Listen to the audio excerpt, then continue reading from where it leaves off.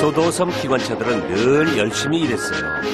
기관차들은 여러 가지 일을 하는 걸 자랑스럽게 생각했죠. 토마스, 난 오늘 고철 하치장에 갈 거야. 뭐? 벌써? 에드워드, 너 그렇게 고물은 아니잖아. 토마스는 짓궂은 농담을 했어요.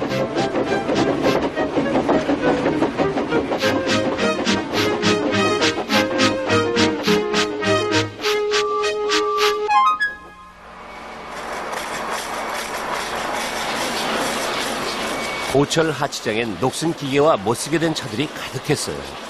그런 것들은 조각조각 부서진 다음 철강 공장으로 보내졌죠. 그럼 그 공장에서 녹여서 다시 강철로 만들었어요.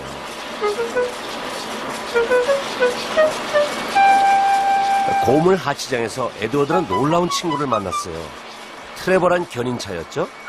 안녕? 넌 고장나지도 않고 녹슬지도 않았는데 여기 왜 온 거니? 어, 난 트레버야. 다음 주면 나도 고철이 될 거야. 어, 그거 정말 안 됐구나. 난 사실 새로 칠을 하고 잘 닦고 기름을 치면 새 것처럼 될 수 있어. 근데 우리 주인님은 내가 구식이래. 에드워드는 마음이 아팠어요. 사람들은 나한테도 구식이래. 하지만 난 신경 안 써. 사장님께서 내가 쓸모가 많다고 하셨거든? 넌 무슨 일을 했니?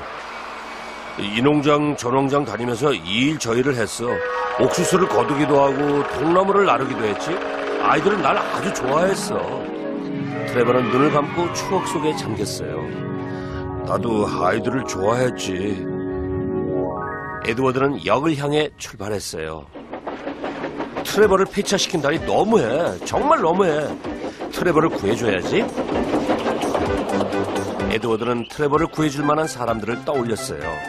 하지만 트레버를 살 만한 사람은 없는 것 같았죠. 큰일이네. 어쩌면 좋지? 그래. 삐삐. 내가 왜 진작 그 생각을 못했지? 플랫폼에 트레버를 구해줄 만한 사람이 있었어요. 안녕, 에드워드. 무슨 걱정이니? 아, 기관사 에드워드한테 무슨 일이 있어요? 어, 고철 하치장에 트레버란 견인차가 있는데 다음 주에 폐차된답니다. 하지만 트레버는 아직 꽤 쓸만한 견인차죠. 트레버를 구해주세요.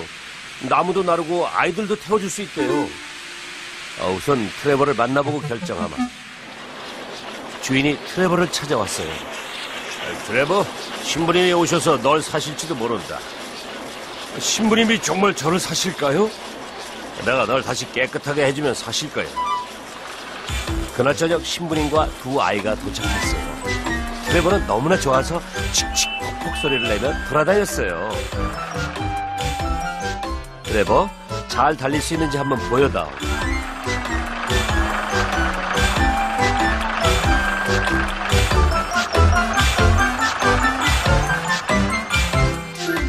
신부님이 사무실에서 나오시면서 말씀하셨어요. 어, 덕분에 트레버를 싸게 잘 샀습니다. 어, 트레버, 들었니? 신부님이 널 사셨다. 이제는 교회에 가서 살게 될 거야. 삐삐! 트레버는 기뻤어요. 트레버 집은 교회 과수원에 있어서 매일 에드워드를 볼 수 있게 됐어요.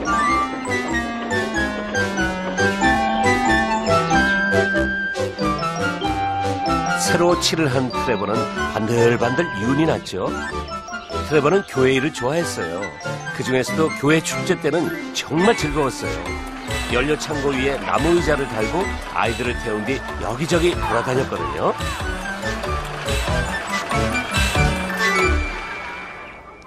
나중에 트레버는 눈을 감고 생각에 잠기곤 했죠. 그리고 행복한 듯 속삭였어요. 난 아이들이 참 좋아.